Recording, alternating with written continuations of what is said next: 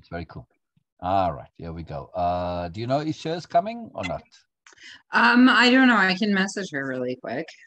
Okay, you know, she knows and she'll come. You know, Okay. I, I just, you know, she comes. She, it's great. I love when she comes, but I don't want to pressure as well. So, never, Yeah, no. No, so always free, always free, always free. So very magical. All right, so that's first thing to do. And uh, before we get going, uh, you know, there's just a couple of little housekeeping things that I have to do every time, um, like like pin the pin the live to the top, and and Oh, share yeah. to my to my profile. You know, uh, things like that. Uh, they they make a difference just in terms of of more connectivity. So, and that uh, Yes, they do. second or two for it to to uh, to show. So Yes, definitely. Um, and I'm going to, I put myself on uh basically on mute, but I'm using my space bar to temporarily unmute myself. Just because the yeah, the kitten is on a rampage right now. So if I don't want to be on live, you know, be unmuted oh, and well, me trying ah, to deal with no. her. So no worries. We don't we don't hear it. Uh, Zoom is quite cool that way, in that it automatically filters out background stuff. So when you speak, uh, all I do is just hear you. So no worries, no worries. All right. So there we are, and we we set there, and let me share it to. Okay. All right. So we're live. We're cooking and we're good looking and everything.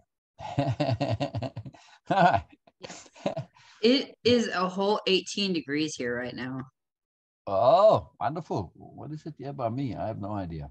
Eh, It's cold here too, but I don't know if it's 18 degrees. But it feels like two degrees. it's about 40 over here. So Yeah, it's only supposed to get up to 28, and then this weekend's get it's supposed to get up in the 50s again. It's like I wish the weather would make its choice, but at the same time, like spring and fall, they are, I mean, undoubtedly, and you know, they are my favorite. yeah. Um, without a doubt, my favorite two favorite times of the the four seasons, but um they also are very up and down with the temperature and all that stuff. Uh, I nearly see I went right to feeling and believing that's what we were doing this morning, but no, we went. It's right next to it. See, feeling and believing over there, and then you got freedom from anxiety and worry right next door to it. FFA. So wow, we still got a, we got a whole bunch of stuff to do still. So anyway, we have got lots of fun to come. Lots of fun to come. Oh, oh, I wasn't screen sharing, so never mind. You don't know what the heck I'm talking about. Never mind. Oh no, that's okay. You gotta remind me. I though. forget, I forget, you know. So all good, all good. Hello to anybody who's who's joining us. Uh, make this non-full screen so I can see if there are comments. Norma, brilliant Norma, who is talking to me? That is an excellent, excellent, excellent question. That is the task and exercise that we left off on was what was asked in a different way, Norma, but that was it. So, person, mysterious person who's talking to me, um, Chris Hayes. Oh, sorry. Oh, oh, actually, somebody else. I teased Jessica a little bit. she looks like Chris Hayes a bit to me. And we got the same uh, Yes. nice smile and. Anyway, so so who is speaking to us, Jessica? Who is it? Who is Well, here? Who- My name is Jessica, and I am a participant in multiple programs. Um, and I'm I'm finding the new me and uh, recognizing my moreness right now too at the same time. So um, there's so much that I'm learning about myself as well as about the world around me and what you know my feelings and my beliefs and also um, my own anxiety of how it um how i've allowed it to or chose to allow it to affect my life Hmm. so um and how to stop it you know thinking things all the way through to the end and um you know making sure that every decision i make is deliberate and you know things like that it's just it's every make Say it again. making sure that every decision i make is deliberate Yeah. Yes.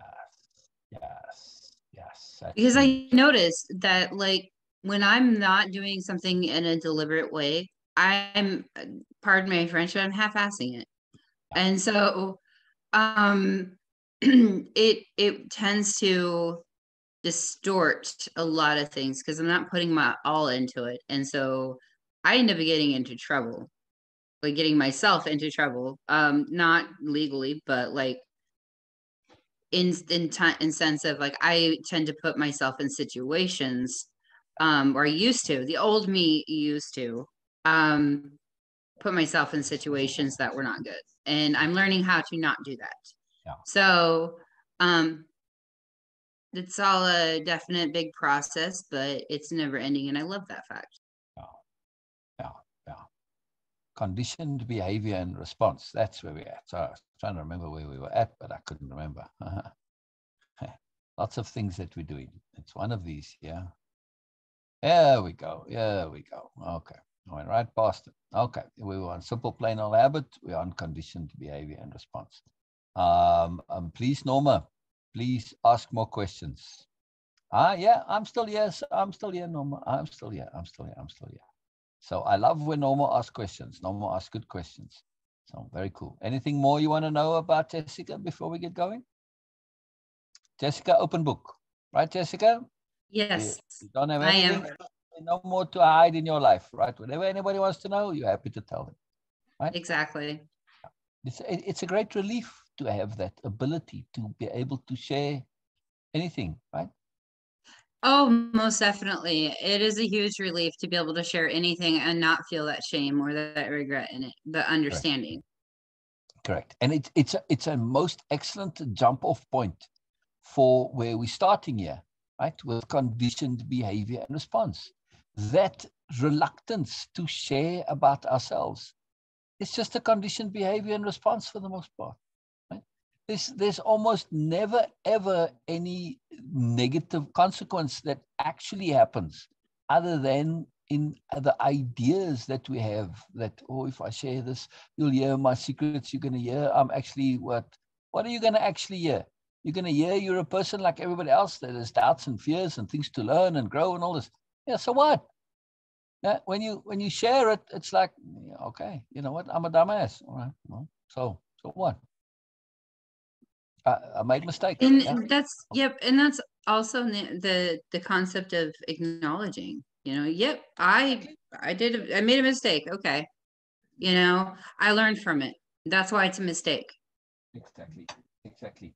Uh, uh, so, uh, uh, Jessica, I, I- would say, uh, you know, without, you know, uh, distorting anything, that you you've lived a life that has had more than its fair share of mistakes. Yes. Yes, most definitely. Right. So, you know, things weren't always normal and usual. They were a bit of a screw up sometimes, right? Uh, uh, profoundly so sometimes. Yes. Oh, most definitely. Right. Right, right. Okay. Now, so not that we are looking to wear it as a badge of honor and to say, oh, look at me, how terrible my life was. That's not what we're doing here, right? Not at all. However, right? So in all these screw ups, and some of them were really terrible screw ups and they were no good and you're not happy about them, etc., etc., right? However, I want to ask you a very profound question. Did you ever intend for them to be screw ups? Did you ever intend to do bad things? no, I did not. I am I was no. completely unaware and definitely did not have the intention to make those screw ups or make bad decisions. intention or the intent. Yes?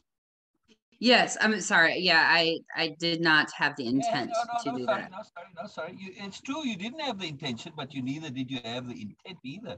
Neither. What, both. I didn't have either one. Yeah. Yeah, and that's huge, right?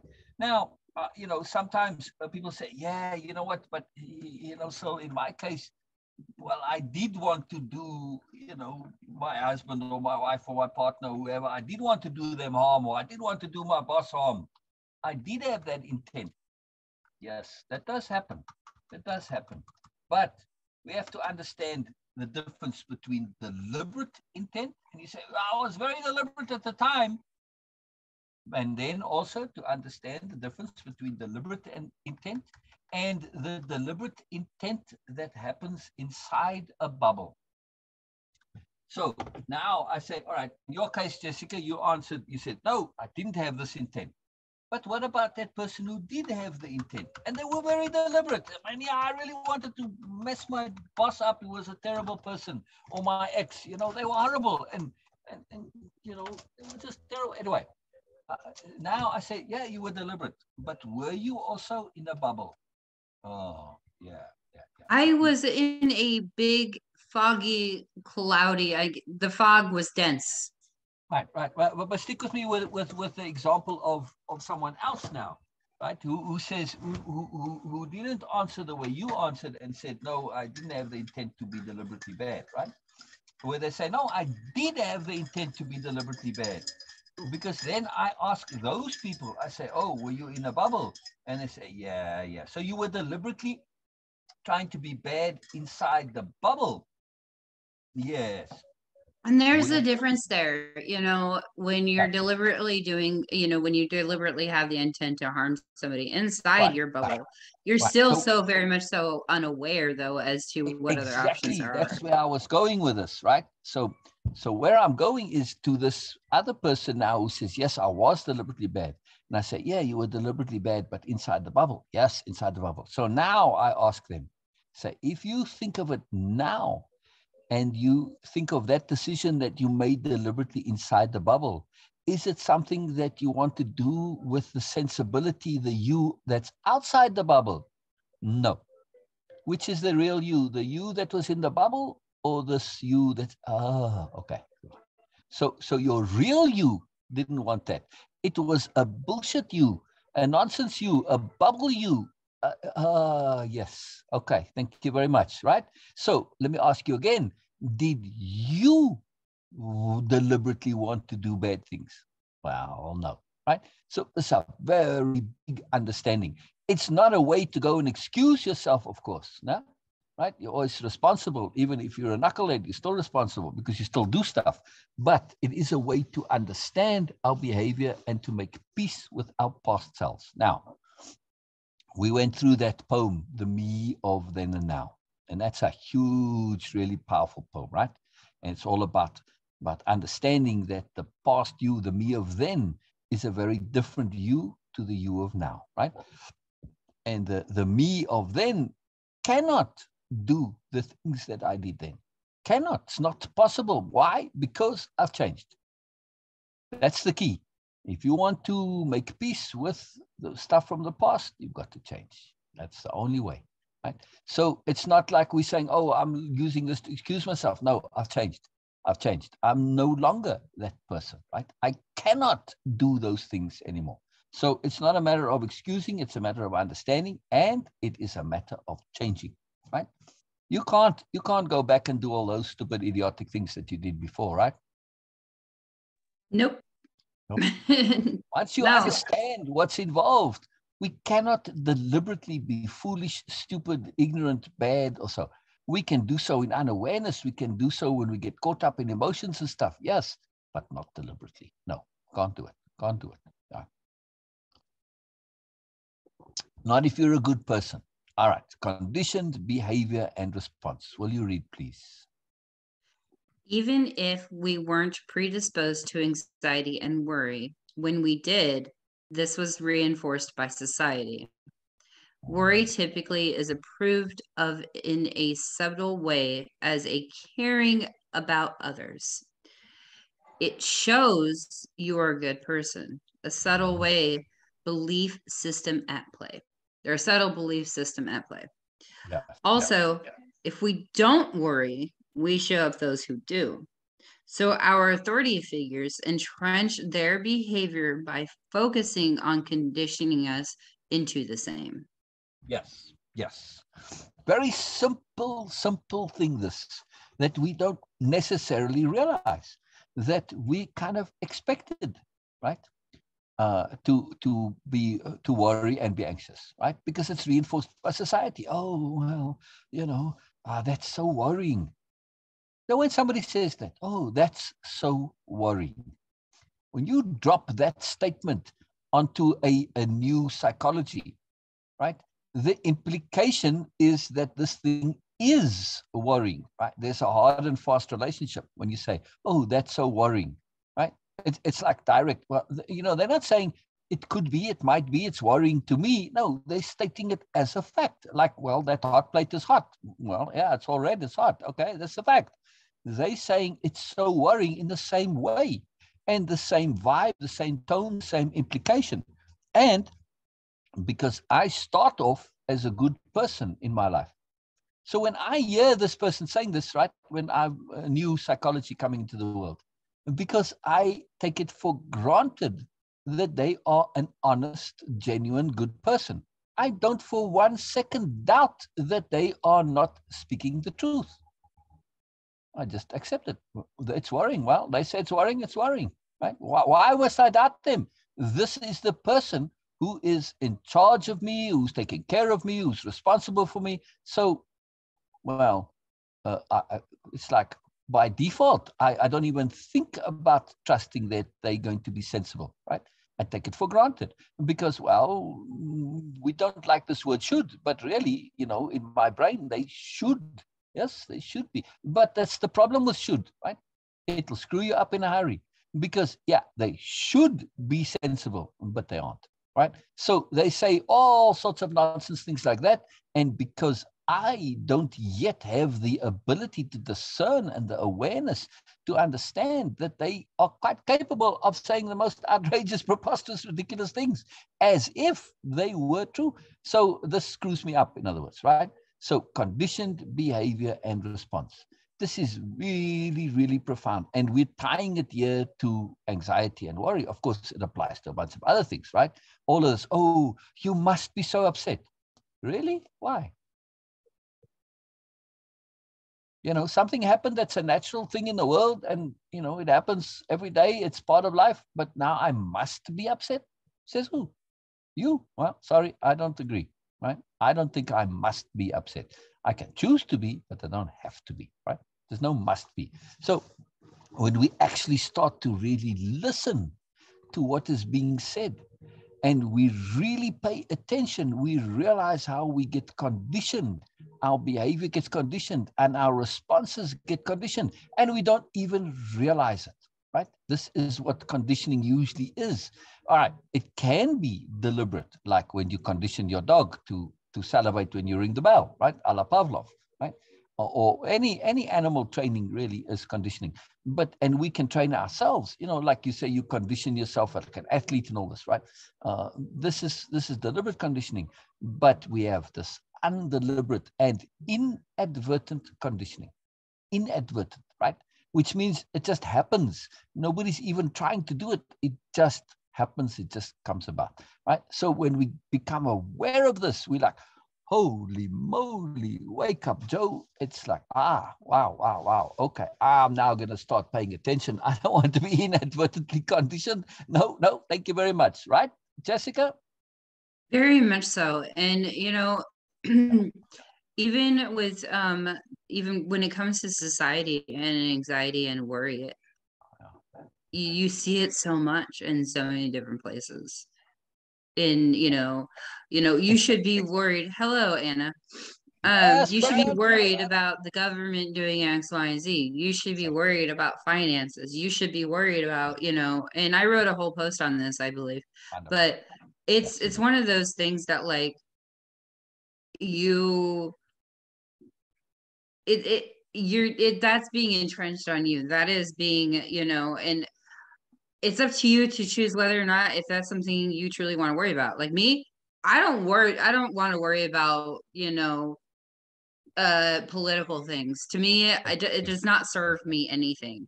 Exactly. Um, I don't want to worry about how somebody else views me because to me it does not affect my my way of living. It does not affect me. That is a them thing. And I'm choosing to not worry about it. I'm choosing to not worry whether or not somebody thinks I'm weird or worry. I used to. Um, the old the old of me like used to worry constantly about image, about what because that's what I grew up with. I grew up with you don't show anybody what's going on on the inside. Yeah. You know. Yeah, yeah, yeah. And this is all uh, the same thing, right? Those were conditioned beliefs. You don't show others what's going on inside. Yes. Well, where did that rubbish come from? That came from BMNs. And for those who don't know what a BMN is, a BMN is a bullshit manipulator narcissist, right? It comes from my book on the psychology of the superiority paradigm, and I have a program involved as well uh, on that, right? All right. So uh, this, this where they say you don't show others what's going on. Why? Why not? Well, because you're full of nonsense and you do things as a BMN that you know you not that you shouldn't do, right? That you feel guilty about, that you feel bad about, but you do them because you're getting a short-term gain, right? And you know it's wrong and you do it. So of course you don't want anybody to see what's going on inside you because what's going on inside you is terrible, right? And you, you have no justification for your behavior. You're looking to shortcut and cheat and, and, and abuse and manipulate and so on. Now, so of course you want to hide this, right? Now, I want to tie on something here before before uh, I, I, carry on here. Yes, Anna, uh, conditioned from culture, religion. Yes. Now, I'm, I'm very cautious, right, when talking about religion, and and and I can really go into great detail. But you know, religion is is, is very delicate and very sensitive. And yes, of course, religions are part of this profound conditioning. So, and, and they can cause lots of trouble as a result because when I grew up, and I grew up in a very, very conservative religious culture, right? Uh, it doesn't matter what religion, because it applies to religions across the world, right? And in this religion, the 11th commandment was, Thou shalt not question. That's it, right? That was what I was conditioned and trained to be. I was conditioned and trained to be obedient. Did they succeed? Well, no, but never mind. That's a different story. Was I disobedient? No. Didn't have to be. Uh, you can find other ways of doing things, right? You can just have awareness, be strategic. Anyway, a different point. But the, the key I'm making is that uh, for the most part, the, the, religions believe in their misbelief of what they think is good. They think you being obedient is the ideal, but it's sadly not. Why? because if you actually are really super obedient, right? If you are 100% obedient, what's the difference between you and a robot? There's no difference. Exactly. You know. So, sorry, uh, Jessica, I want to I want to make my point here. I'm going going somewhere. Right. So, if you are just obedient and you are really excellently so, if you don't do bad things because of fear of punishment and you've been told not to do them, right? That's the only reason you're doing it. You're doing it because somebody said, don't do it, it's bad. And you say, yes, okay, and you do it, right? And well, you're going to get punished if you do. Oh, okay, well, I'm not doing it. So, two things, right? If I do it just out of obedience, I could do it completely mindlessly. And whether I do something good or bad, either way, there's no morality involved because there's no choice, right? Very First much point. so. That first point, very big, big point. So if you get so conditioned that you just do automatically, well, you're just a robot. You have no no free choice. And what you do means absolutely bugger all. It's not real. Right. And then if you do it, okay, well, now I've got a choice. All right, okay, well, you got to choose. Well, if you do it, you're going to get punished. And if you do it, you're going to get a reward. If I do it purely for the reward or the punishment, likewise, where's the morality involved? None, zero. I'm doing it because I'm going to get something out of it, not because I personally believe it's right or wrong. And you see this all the time when you have people that join a society and they go along with stuff and they just want the rewards, but they don't really care. And you can clearly see that they don't give two hoots about it. You know, privately they'll go and do the opposite, but they do it for the reward. What does that mean? Nothing. Right. So this is a very big deal. Hello, Bina.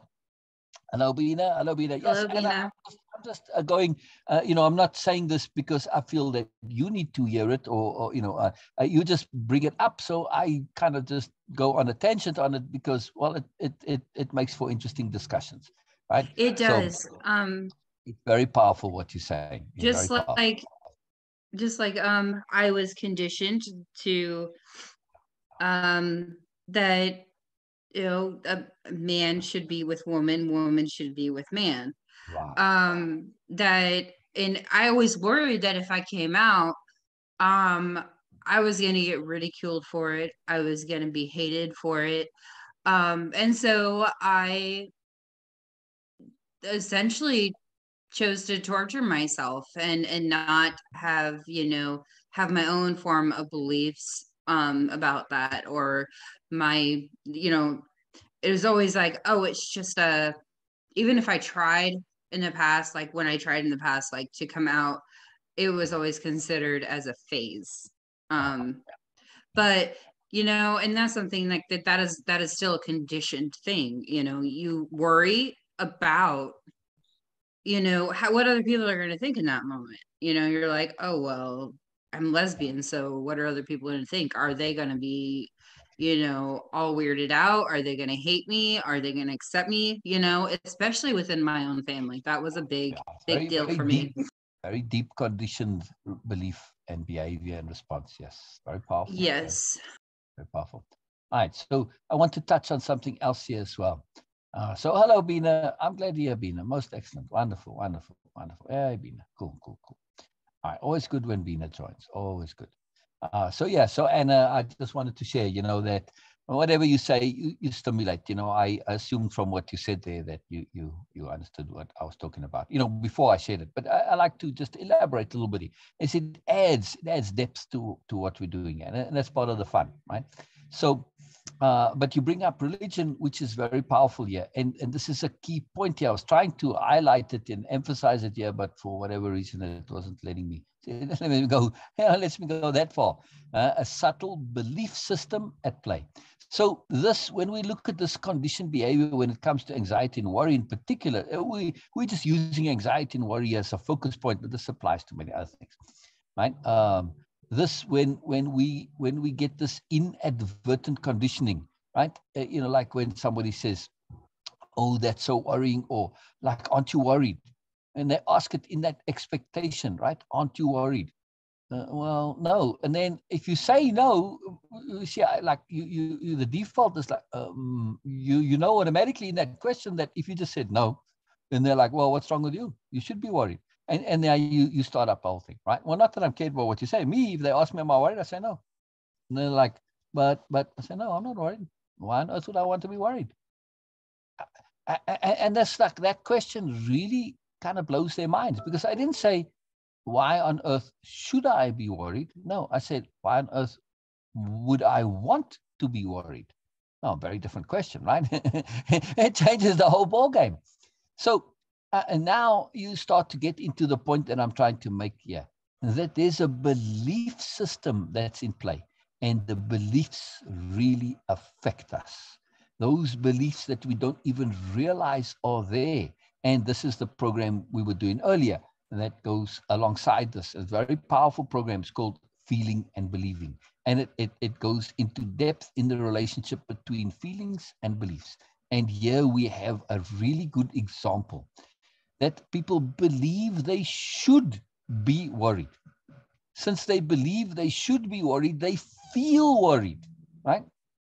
Now, that feeling of worried, well, uh, how do you feel? Well, I feel worried oh, well, now that feeling reinforces your belief that you should be worried, and the two starts feeding off each other. I call them a lunacy loop. That's infinity loop, right? So the more you feel, the more you strengthen your belief. And the stronger your belief is, the more it causes you to feel more strongly. And so it goes and goes and goes, right? And this is when worry becomes anxiety, when it runs away with itself like this. It's very, very, very powerful. And it's so easy to allow it to run exactly. into you know what i mean to exactly. run into anxiety because you know exactly. if you're so if okay take take something that everybody has to deal with every adult bills yeah. okay exactly. paying mortgage or rent on time, paying the car note on time, paying the insurance on time, any type of bill you may have. Um, we are we're uh, as even as children, we watch our parents um, get worried about how they're going to pay something, how they're going to um, afford something, or even food for that matter. It's it's such a big, you know, uh, thing. It's um, to us we are uh, conditioned to worry about how you're going to pay for your bills how you know what's the best job you can get that's going to to give you enough money to be able to pay for your stuff um and in reality really you don't have to worry about it because it will work itself out you know? Um but you also have to take the steps to make it work out you know? But if you worry if you continuously worry and feel anxious about it just because other people ask you if that's you know um ask you if you are or wonder why you're not um you don't see those extra steps. You don't see those extra options you have. Um and that's where it really like start wow Sorry, I got distracted by all the um, windows. I'm trying to just say I and reply to Bina while I listened to you, but it became very complicated. And I don't know why. why. I can see that. It's I'm just... trying to say hi and reply to you, Bina, but it won't let me. You see, I don't know. It says replying to Bina. Okay, let me see if I type here. Oh, there we go. Okay, I don't know. It just seems very weird. Very weird. Anyway, Sorry, I didn't mean to make it all production, but I don't know, for whatever reason, Facebook was deciding to be difficult. So, yeah, I want to say hi to Bina. It's important. It's important to say hi to Bina. Now, Bina's a magical creature. Always. Bina is amazing. Yes, yes. All right. Brilliant. I Bina, we made a whole big fuss about you now. didn't mean to Bina, just the way it came out. So, all right. So be it. So be it. So be it. All fun. All fun. All right, so this this where we at here to really understand that our worry and our anxiety is so deeply rooted or can be in a conditioned behavior and response, and and how that is subtly connected to a belief system, and the belief system is connected to the feelings, the feelings connected to the belief, and they all loop around, right? Very, very, very powerful to understand. And how many of our cultural systems right? Not just uh, religion, but our, our, our, education system, our, our, our cultural uh, system of family and, and, and, and, and extended family, all of these things, they all have beliefs in them that keep adding to this idea of worry, right? Like, for instance, you should worry. Why? Because, well, that means you care and it shows you're a good person, right? Now, of course, good people, truly good people, don't need to go around showing that they're good. Well, I'm just good. I don't have to show it, I don't have to prove it to anybody. All of this stuff comes from the BMNs, who, of course, aren't good people. So they need to show, and of course, uh, to justify and legitimize their BS showing to prove something that's not true or try to to justify and legitimize, they make this something that everybody should do. Well, you've got to show you're a good person. No, I don't have to do this. You need to do it, but don't put your things onto me, right? so that makes so much more sense right now, Syl. Sorry, when yeah. you said that with the BMNs and like how they can condition yes, yes.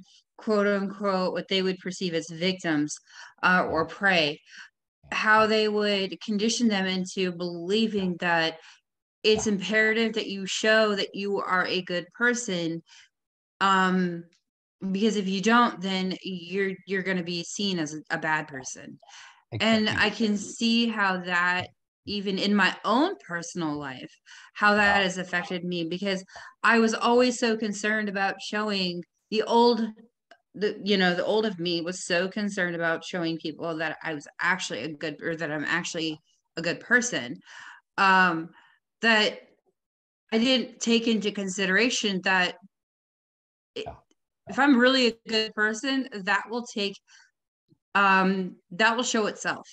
Yeah. I don't have to worry about it because it will show on its own. Exactly.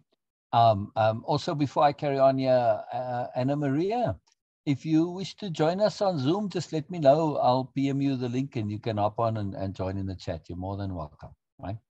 uh, Bina, Norma, everybody, they already know uh, that they can do that, you know, because to to uh, interact via chat is a bit of a delay, is a 30 second delay, so it's a bit slower. You know, I do pay attention to the to the comments, but you're more than welcome to come on and, and chat with us about this stuff. There's, there's lots to chat about. So uh, I, I want to go back over this point that I meant. I, I sort of was going over it really quickly because there's a lot that we want to do, but there's no time limit, right? So let's go back to this point that grabbed Jessica so powerfully. This point of the BMNs, right? And again, BMN stands for bullshit, manipulated, narcissist, all in one, right? In other words, people that do things for bad reasons, right? And not only do they do them for bad reasons, but typically because that narcissism is involved, they very hollow and insecure inside right? so th- that's why they are bullshitting all the time, why they are manipulating and all this, because they looking to uh, artificially do something and show that they're good and nice and feel nice and feel good because they don't want to actually put the work in to do it for real. Or they've come to realize that they are but hollow as they grow up and they become aware, oh, and now they can't face this awful truth of being hollow and they don't want to acknowledge, oh, you know what, I, I, thought I was the king of the world. And, you know, when I was a kid, I was treated as uh, worshipped and said, you, the, the, the, prince of the world, and, you know, you fantastic and everything. And now I realize, actually, I'm just another kid. I'm just a, you know, typical knucklehead. And they don't want to face this awful truth, and their ego cannot handle it. So they have to lie and lie and lie and deceive themselves and thinking that if they deceive others, now they can prove they're not hollow. Well, of course, you cannot make an untruth into a truth, but this is what they try to do. All right, so uh, real quick there. I mean, I got a whole book on this if anybody's interested. But yes, the key point I want to make, it's a very subtle point, right? So when they say you should worry, right? And, and you got to show you're a good person they are pushing a ideology which is an ideology that they need to do. Now they could just do it. They could just go around showing how they're a good person right? And they don't need to educate you and your and, you know others around them. They don't need to push this as something that everyone needs to do. But why do they do this? Because if they did it on their own it it stands out in isolation Furthermore, right, if they can get everybody to do this, it justifies their behavior. Because if everybody does it, well, then it becomes right in their mind, right? This is BMN thinking. If everybody does it, it's it's okay, right? It's not illegal if everyone does it. Well, well, it's not wrong if everyone does it, right? I mean, so this is the logic, right? So they want you to sign off and support through you also doing their nonsense you justify and legitimize their behavior. So there's a double layer here, right? They're doing things, something that's actually quite unnecessary for them to do, but they have to because they need that justification and legitimization. So it's very subtle. And if we now really go into this a little bit deeper, yes, we can see that, holy moly, you know, most of our society, most of our culture, right, through the ages, has been ruled by BMNs, right? What is a feudal society? Right? A feudal society, you got the lord over there and everybody else are the slaves. Uh, wait, wait, wait, wait, wait, you say, oh, no, no, they weren't slaves, they were serfs. Yeah, and the difference is? What's the difference? difference between a slave and a serf is that a, a, a serf is a voluntary slave.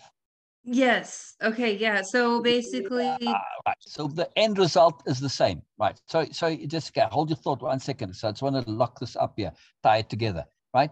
So the the the the feudal lords, the BMNs, they uh, got to be very clever in their manipulation. They figured out, man, the ideal is for us to have slaves, but you know, slaves are a lot of work. They want to run away. They want to kill you. All this stuff, right? So we are going to manipulate the goodness of people to make them voluntary slaves. And this is what they did. So they pushed all these cultural ideas uh, that you should do this, you should do that, and they used should to manipulate, right? And so conditioned response behavior, like Anna said, yes, they used religion, they distorted and perverted the beauty that religion can be and is supposed to be, and they used it for their own ends for control and manipulation, right? So I'm not against religion for those listening. I am against the misuse and abuse of religion. Yes, which is a very different topic, right? Don't confuse the two. Don't confuse the two. Just because people misuse religion doesn't mean religion is bad and wrong. No, right? It's misuse of it that's wrong. All right. So uh, the, the key point that I'm making here is that uh, I want to really key in because it's a long story if we go into the details. It's very fascinating stuff. But the key point I want to make is if we start paying attention to our cultural conditioned behaviors and responses and see where they come from, we see that we have an entire freaking culture of stuff that's being pushed onto us that's complete and utter bullshit, right? You should worry, you should care, you know, you should uh, uh work your butt off. And this is the most fantastic thing ever. Well, of course it is. If I'm the slave owner and you're the voluntary slave, you know, all of these things that we take for granted as the goods in our society, you know, things that are good and wonderful, we need to look a little bit carefully, right? A lot of them are there and they completely and utterly manipulate us, right? Like you should worry points and stuff like this, right? No, there's no need for you to should worry at all, right? None whatsoever. It doesn't show that you care and all this. It just shows that you are believing poorly, right? And you've got better options, better choices, right? Very, very big deal. So, um, so there's a question I want to ask. I already know the answer, but please. I I want to ask you just for the the aspect of everybody else.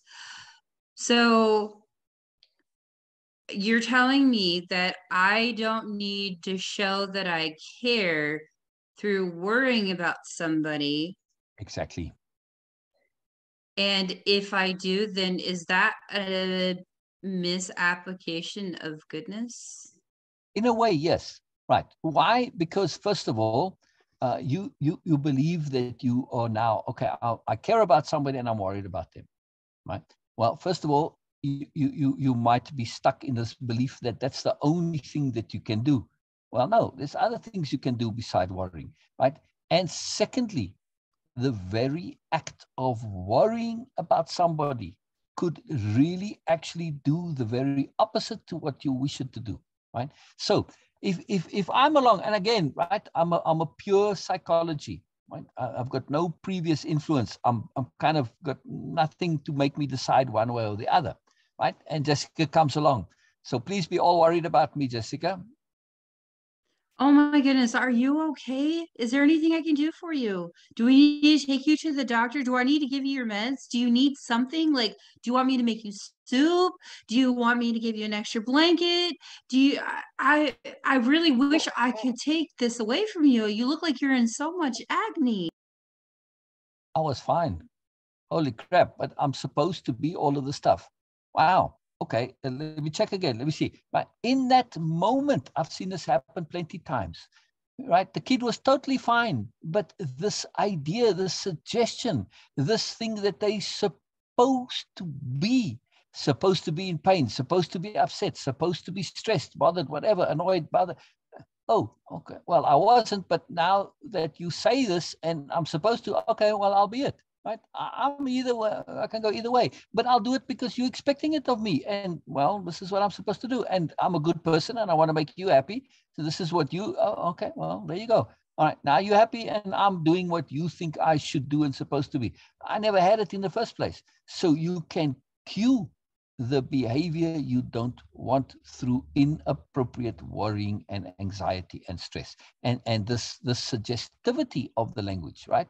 Because you are saying things as if this is the only way it works right? Like well you should be uh, no there's no no such thing at all. You're not asking an open question you know? Uh, are you feeling good? And the person's like well uh, are you feeling bad? See, uh, if you ask both instead of saying, are, are, are, you, are you ill? Are you upset? Are you... No, ask them if they're feeling good first.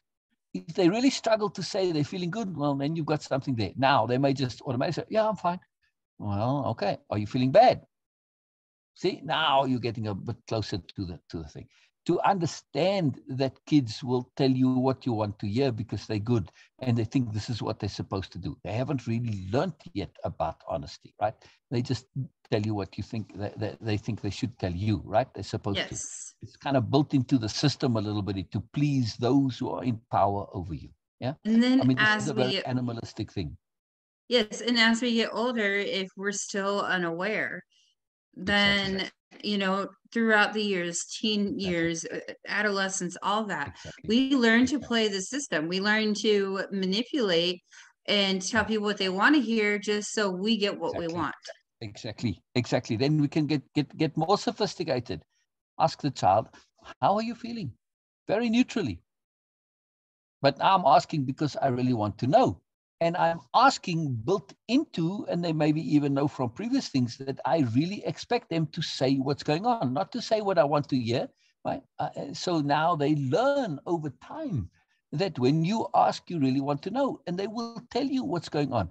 It doesn't take much, right? So you can you can leverage this conditioned behavior to condition choice.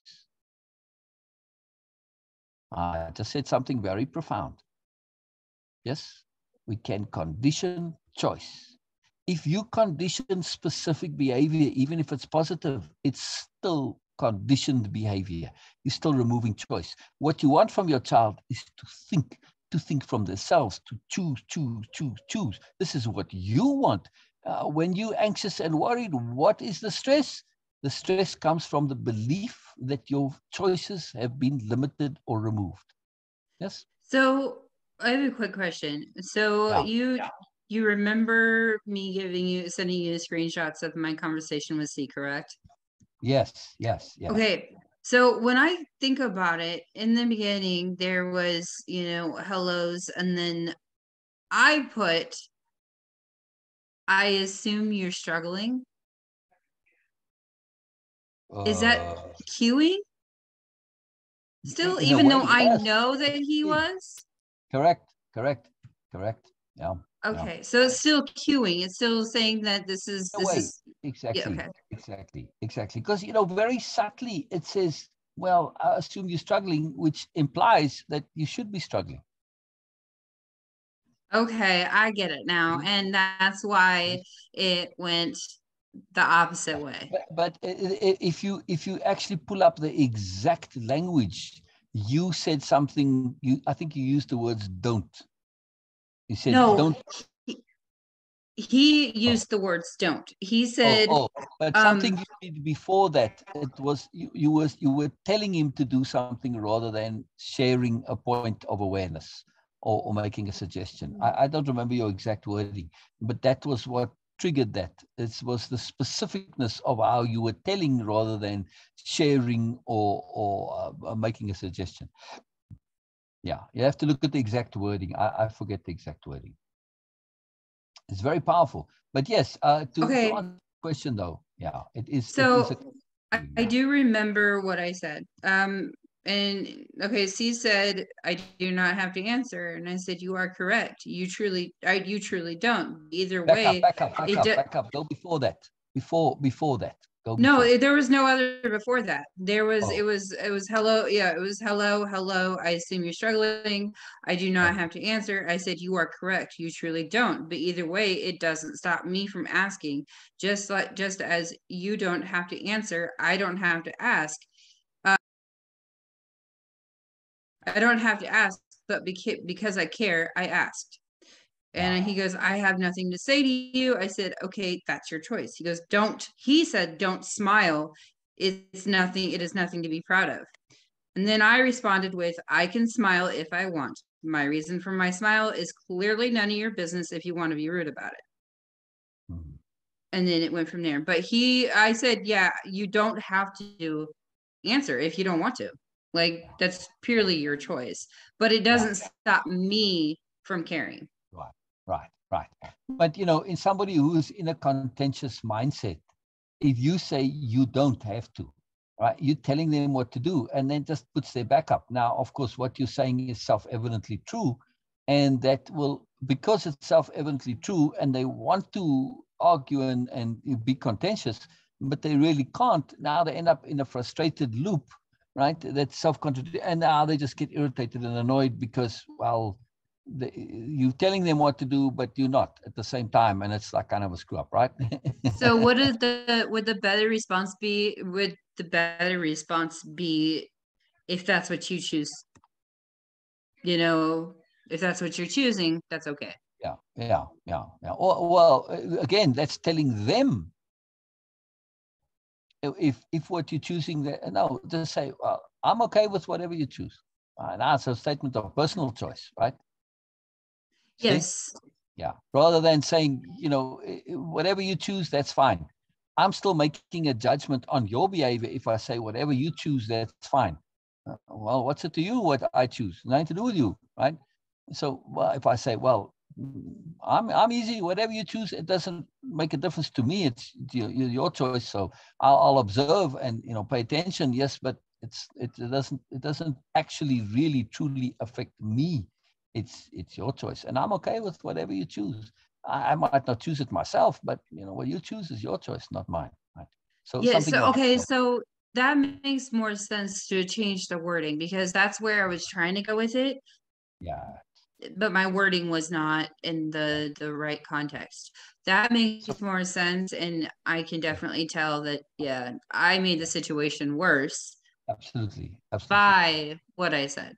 Yes well and then unintentionally. Also, yeah yeah then also you kind of fell into that well uh, this is what i'm doing and you know kind of a little bit of a tit for tat kind of a you know, style of of of discussion which if somebody's yeah. contentious if they're not contentious, that's not going to inflame them. But if they're in a contentious mindset, that's certainly going to inflame them, right? Because it's like, well, we're having a little word competition. And when somebody's contentious, there's no such thing as friendly competition, right? It always gets nasty. Yes. Always gets yes, nasty. very much so. And that goes in part of um of you know the different things that I've learned that uh, you know in the aspect of working on my relationship with you know C. So. All right. So so so here's something I, I want to emphasize. A very cool point. Um, I'm I'm keen to hear from anybody in chat there. I don't know, Anna. I hope you're still with us. You know, uh, sometimes people can't stay long. Um, but Anna, Norma, Bina, I'm, I'm keen to hear your perspectives on this but but let's get into this in a different way you were asking about better words and i'm very very very reluctant to give specific words right um uh, just that i thought i remembered but maybe it wasn't. anyway uh, the the the point is rather to change the underlying understanding and the words will take care of themselves right so if you look at your default intent there and a conditioned behavior. Your conditioned behavior is to be caring, right? Is to give advice, is to give suggestions, is to be helpful, yes. correct? Those are all your defaults and they come from conditioning, right? And in this particular case, this is exactly where the problem is, right? And that the person is in a contentious mindset and they're not open to suggestions. They're not open to help, advice, none of this, right? And to a certain extent, that uh, when, when people are pushing advice on you, uh, it's actually healthy to resist it, right? Because, well, in your case, you know, your advice might be sensible, but how often didn't you have advice pushed on you that was absolute, utter nonsense? Yes? Oh, so many times not just nonsense, but detrimental, right? So very being a bit being a bit uh, uh, um, um anti-advice is actually more healthy than not. Now, of course, if you're in a belief bubble, then it's dangerous, right? Uh, so, but the key point I'm trying to make is that uh, even though our advice is well-meaning and we know for a fact our advice is good, we still don't want to encourage somebody's psychology to be uh, uh, and become an advice taking psychology, right? It may get them out of their problem, but you're trading one problem for another, right? So with with with Sia, I I do now recognize how I had um I had put more emphasis on the advice part and exactly. also how I slipped exactly. back into that exactly. um exactly uh, parental uh you should type exactly. of thing exactly. and yeah. i see now because that's we would banter we you know that's how our a lot of our conversations used to go was yeah. we would banter back and forth and i was like i had this mindset of I'm I've been through more than you, child, and I've done this. I've been there, done that, did this, and I yes. can do it way better than you can. So you know, so try me. So basically, that's that's basically how my conversation would, you know, conversations would go with him. Exactly, Um, exactly. Now I see Yeah, that yeah. how easily still it's. It, I need more work in that area.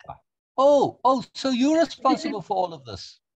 No, I'm not fully responsible. Oh, But no, I'm hold taking hold my hold on, hold on, hold on a second. Didn't you just two seconds back say uh, to uh, you were you were saying to him, "Look, I've done all of this and I've done it way better than you." Weren't you just challenging him to be more disruptive, more troublesome than you were? Yes, I. so- I hate it when you do that. Still. No, But I love it at the same I'm- time. I'm being a bit cheeky, but you know, this is what I'm trying to say.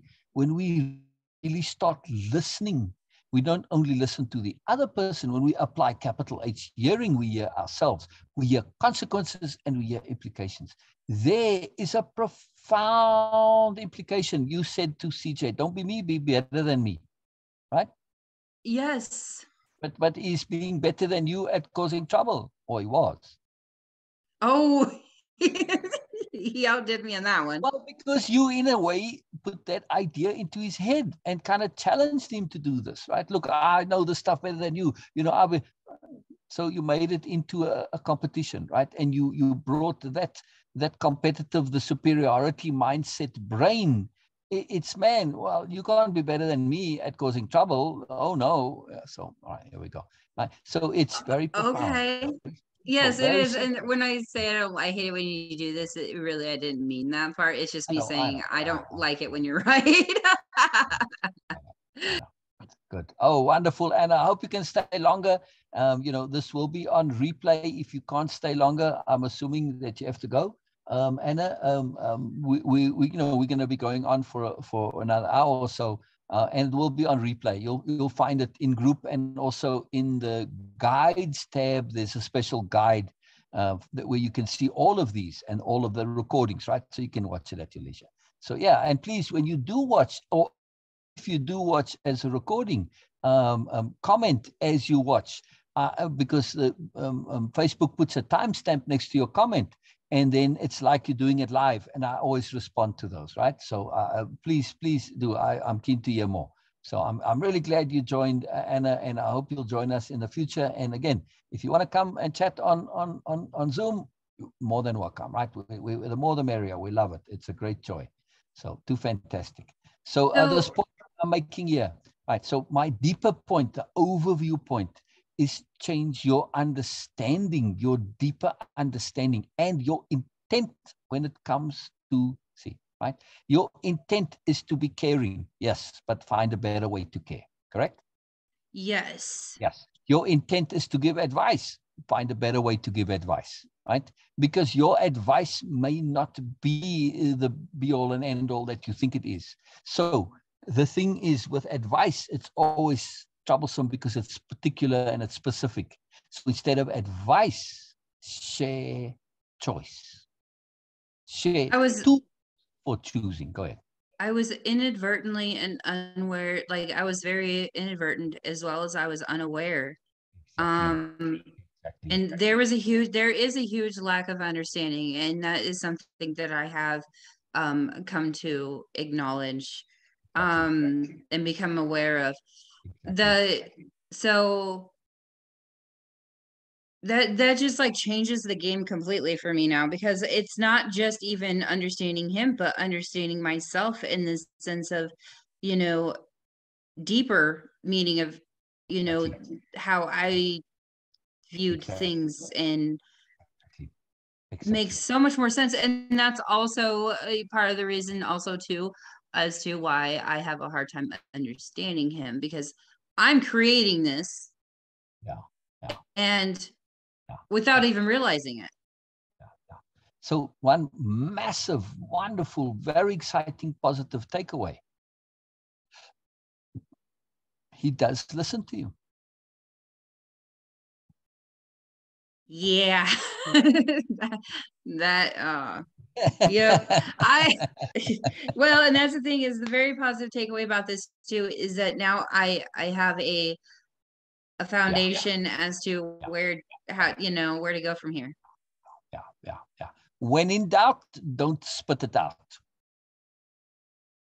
or don't puke it out don't chuck it out don't eh, right so in other words shut up I taught my son. So yeah, and that's the thing is too is I by my own behaviors and actions and belief systems, I had taught my son how to outdo anybody and everybody, exactly. no matter what. Exactly, and that's exactly what was going on, right? This was it. So he was doing what you taught him really, really well. Too well. Yeah. But again, my point is look at the positive. Right? Don't see the oh, negative yeah. of this to say, wow, wow, this is really awesome that, you know, actually I, I was having an effect. I, not quite the way I thought, but well, it wasn't really thinking, right? And that's the point. So, uh, you know, when it comes to uh, the things that we share, share tools, not specifics. And when you share tools and you share tools of choosing, tools of awareness, tools of discernment, then you get to think it through. And there's logic and substantiation rather than just believing somebody. And that's the problem. He took what you suggested and he just believed you and he ran with it and it caused a problem. Yes? Because it's a big problem. And now I see I see it now. Um yeah. Yeah. that that and that's the thing is this so it's such an eye-opener you know as we're going with the beliefs the conditioned behaviors and responses i exactly. and exactly. how it starts the belief system so so what i would recommend again see i try not to give advice but i would recommend you and and hear me out and see if what i'm saying makes sense right that's the point you got to make sense to you not to me right? But I would uh, kind of think that in this situation, what might be useful and valuable might be, might be, not will be, might be, is a deep, sincere, earnest apology for your inadvertent nincompoopery. That's all it was. Inadvertent nincompoopery, unawareness, right? Yes, uh, but I and I also um I also it, there's two people that I definitely open. I, you know, Correct. I owe Correct. a, a deep, sincere. But, but you know, it's it's it's a sharing that is a sharing of coming to awareness. It's not an apology. It's not looking for forgiveness. It's not blame. It's not uh, you know commiseration. It's none of that crap. All you are doing is you are sharing your own coming to awareness as a compound term, right? Coming with yes. the dashes right? Coming to put it in your dictionary of power, coming to awareness. This was a massively powerful. You've had plenty of them, but this is another one, right? Another incredibly powerful coming to awareness. That oh my goodness, you know, I was trying to do good and I caused a problem. Why? Because my intents were off. I was kind of bragging a little bit about what an asshole I'd been in the past. Well, you're not? Yes.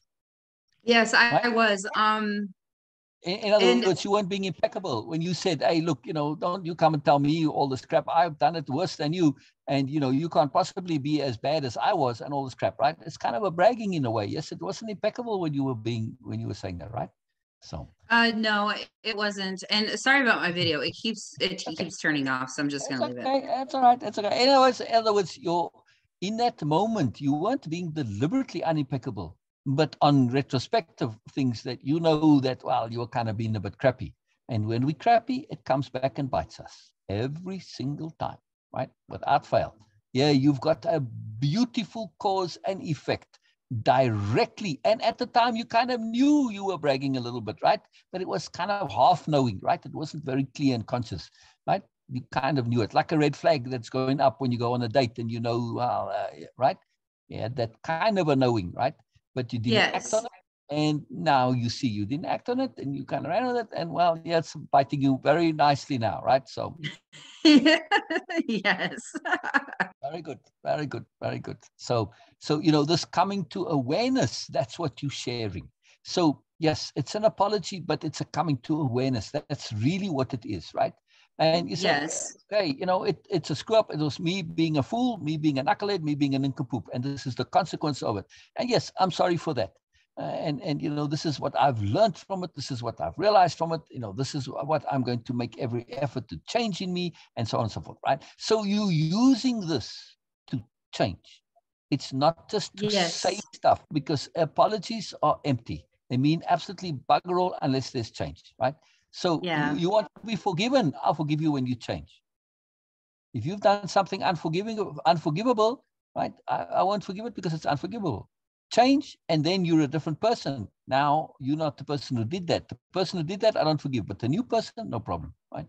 So this is it. So you got to demonstrate. Otherwise, these things of you know understand they all mean nothing if there's not real change, right? I can apologize all I like if I don't change it means bugger all, right?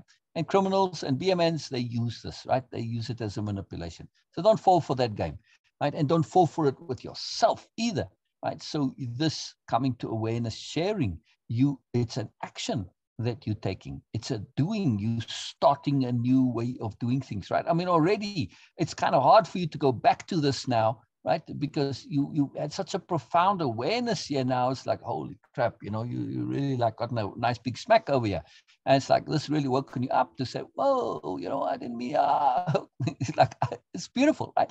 There's a beauty to it, no? There's a magic to it. So don't get stressed by it either. Well, you're not, but you know, just saying for in general, to see the gift of this. And if we don't learn to be at peace with coming face to face with these awful truths about ourselves and learn to see them for the magic that they are and face them and deal with them and own them and change because of them. And through the change, it now becomes an awesome truth, correct? Yes. Very much so. That's it. It's now awesome. Why? Because you're not going to do it again. That's what's awesome about it. You cannot do it again because you No, not that I'm aware. And going uh, on. yep. You understand how by trying to help in your terrible way, right? Real inappropriate application of goodness, you were truly trying to be good, but just in a very, very crappy, terrible, horrible way, right? Yes. like, "Oh, okay, okay, I get it. I was a fool. I was an idiot. Okay, okay, all right, all right, all right. I get it. I'm, I'm, I'm, I'm, I'm, I'm a bit more clued up now. But uh, I just want to say, just know that in the future you're going to go again. Oh, I was such an idiot. Okay, right? It's You know, that is prime example of you know of, of everything of conditioning as well as what not to do um and you know um i think i have a project coming on with this Yeah. so definitely uh yeah and this actually is gonna you know help me in the end too especially while i work on it because it also will bring more to light than you know just this but um it's very it's very profound for me and now that i understand Yes. what i was doing and how i was doing it you know i thought i understood before but no now i i understand more you know like Exactly, exactly.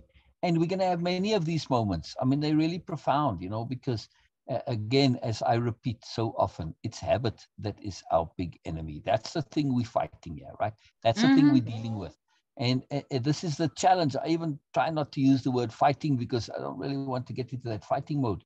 But this is our challenge to deal with habit, right? And we, a habit forces us to pay attention all the time. So habit is also a gift because it, it, it forces us to be deliberate all the time. And when we deliberate, then we live with power. Magic, awesome, fantastic. Our lives are enhanced when we love deliberately. So it all works together. There's that bigger picture, right? So now you you think, oh my goodness, our awful came and really bit me. But it's a gift. It's a capital G gift. Yes, right? yes very It's much gift, so Yes, yes, very magical, potent, marvelous, wonderful gift. And this is very important to understand, right? So we're always learning, we're always nincompoops, but we also get to be, uh, you know, less than nincompoops to some degree. But in, in the grand scheme of things, we're always nincompoops, right? But to be a nincompoop is not necessarily a negative thing, right?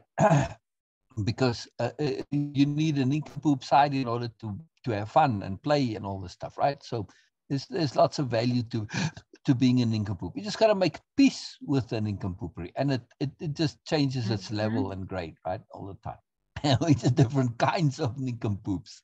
it's very cool. It's very cool. All right, so uh, let's continue with conditioned behavior and response. So, uh, sorry, before I want to just re-emphasize what I was saying. To, to tie up the thing to remember, my takeaway, in other words, from your conversation is not the change of words, but the change of mindset, change of attitude, and change of intent. Change the Yes. intent. The intent was to be helpful, the in- the- to give advice. Get rid of that and realize, man, giving advice, this is not a good idea, right? So if, if you want some advice, people, don't go around giving advice. right. But I really mean that. And that's actually good advice, right? Don't yes, it is. And advice. I, I definitely understand that. And I see I that love those conundrums. Right. I So- too. Right. So so the intent is to share. That's the intent. Yes. And specifically, what do you want to share? Not a bunch of limited choices, which is just a clever way to manipulate somebody. No, you want to share the tools of choice. Yes, that's what you want to share the tools of choice. And choice is a synonym for awareness. So that's what you're sharing, right? You sharing about choice, how to come to your own awareness. And don't believe me, please do not believe me. I wish I had one of those flashing things like beware, caution, you know, do not believe, right? And then I stripe through this, right? Do not believe this person. No, do not believe me. Absolutely not, right? Don't believe me, right? Use the tools that I share to figure it out for yourself, right? So this is it, you know, uh, the tools we've mentioned them before, thinking things through to the end, the profound tool, perspective shifting to multiple perspectives, not just one to the other, black to white. That doesn't help you bugger all because you miss all the colors, right? So you want to learn to see all the colors, perspective shifting to multiple perspectives. These are, and there are more tools like that. I'm just mentioning two of them now, right? Uh, these are the tools that go into your, your dictionary of power. So when we share these tools, that's a very different thing, right? You know, somebody's busy pounding the nail in with their fist. Well, this sucks, this sucks, this sucks. And I come along and I say, uh, yeah, you go, dude. And I hold up a hammer. The fuck is this? Oh, oh, okay, I get it. I don't have to say a word, right? I just have to draw their attention to a hammer. Or I can do it better. I can say, look at this bench over there. And they see a hammer and a saw and a, a, a, a- and um, I can't even think of another tool now. Anyway, uh, uh, they see other tools, right? And well, which one's going to do the job for you? Well, saw, uh, no, well, a hammer's like duh, right? That's the point. When we share awarenesses that are like they, they- just duh. I don't have to say yes, a hammer. This is what you do with hammer. Uh, come on, you know, I, I don't need to be uh, person explaining things, right? Uh, it's unnecessary. So so you can just just direct the awareness. That's all that's necessary sometimes, and it all falls together of its own accord, right? So this is a very powerful thing. And it's like, oh wow, I never looked there, right? That's it. That's so often. Like how often haven't you said to me, right? Jessica, you said, Oh, I never thought of that. Exactly. Exactly. Or I, I never looked at the bench, which is the same thing as I never thought of it. I never took a look at the at the workbench to look at the tools. Uh, you know, so when we have this, the things become those of their own accord. And to tie this all together, right? See, there's this kind of loopy circle thing going on here, right? I gotta tie it all together, right? That's what I love, tying things together. So to tie it all together, it is very much the point here is that conditioned behavior and response is precisely that behavior that puts a bubble, a shield, a wall between you and that workbench, that toolbox. And it's what prevents you from, oh, I didn't think about it. Why not? Because I was conditioned to not think about it. Why? Because I was conditioned to think something specific. So by automatically, just by default, just by the way it works, if I'm thinking this and this is what I'm supposed to do and should do, then I don't even think that there are other options that I could look at, need to look at, right? So it forces me in a way without forcing me. It just happens to be that I end up not thinking. Why? Because I have a conditioned behavior and response. So I end up being stupid and mindless because of conditioned behavior and response, right? So conditioned behavior and response is ridiculously powerful. Watch all your behavior if you want, again, some advice, right? Or suggestion. It's not advice, suggestion. Watch all your behavior. See whether it is a choice or not. Now, I can happily say this. Why? Because I'm in attunement with the universe. The universe, the world, everything around you is whatever happens, it happens for the intent of enhancing and developing your awareness. So that's what I'm doing. I'm giving you a tool for the enhancement of developing your awareness. I'm in tune with the universe. So, okay, in this case, I can share it, right? I'm, I'm in alignment with the big, the whole big system, the grand plan, right? So this is very cool, very cool. So very simple business here. Pay attention, people, when you're worrying, are you doing it because you don't know any better, right? Because you've been told you should. In other words, it's a conditioned behavior and response. Are you a slave, therefore, to other people's ideas of how you should live? Do you want to be a slave? Mr. Worrypot? Miss, mm, Miss Worrypot? No. You don't want to no. be a slave. Exactly. Thank you very much. Okay. Well, then change, change, change, change. You don't need to do it. You might believe you need to, but you don't need to. Yes?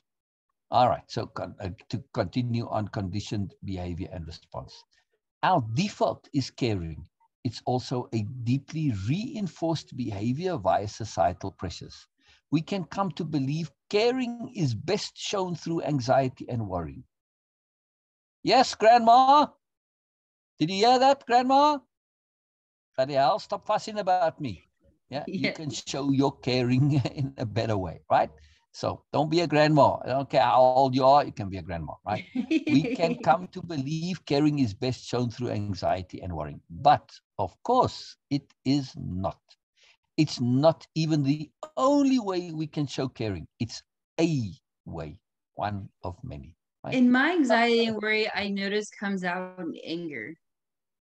There you go. There you go. Also, uh, also a, a terrible way of showing you caring. Right. Exactly.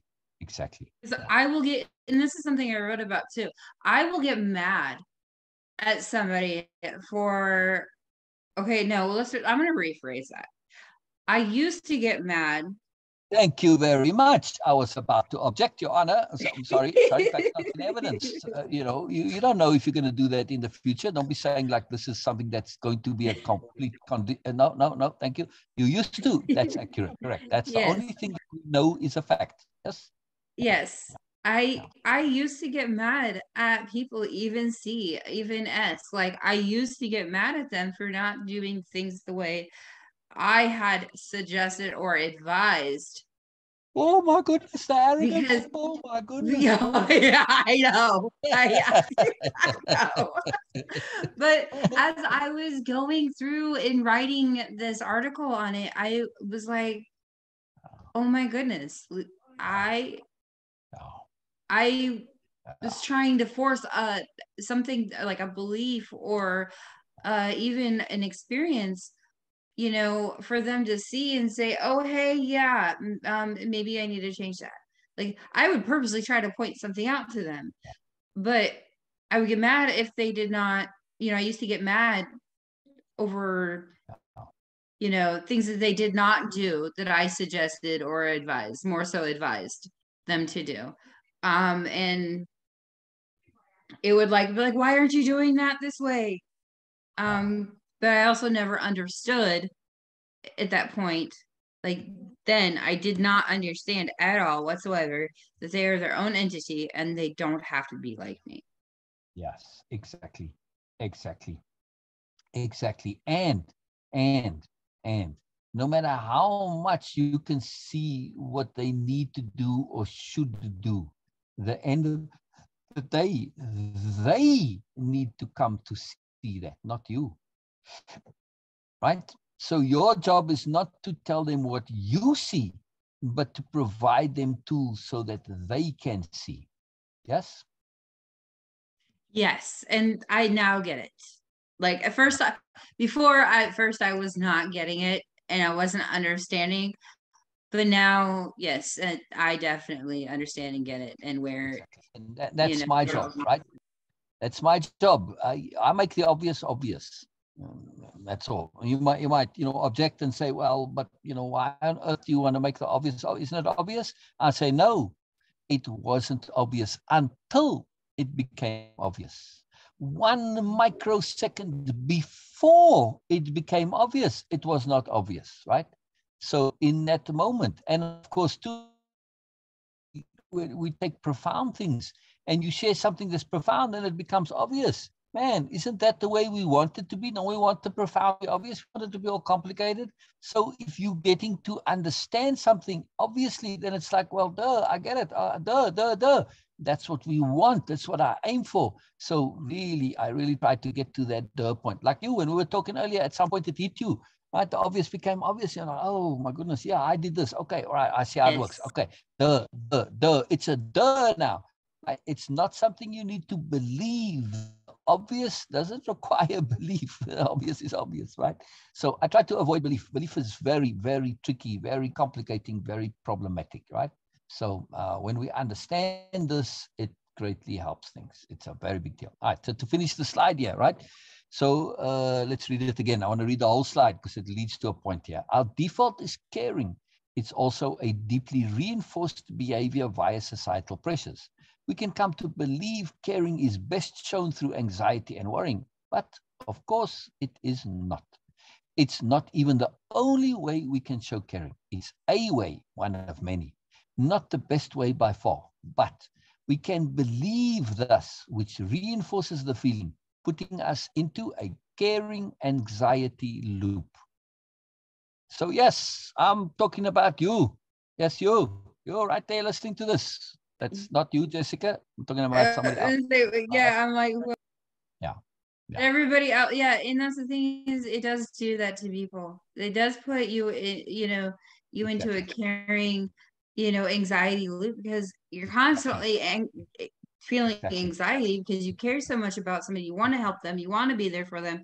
You want to, you know, do anything and everything you can to Exactly. ease their, you know, whatever they're going through.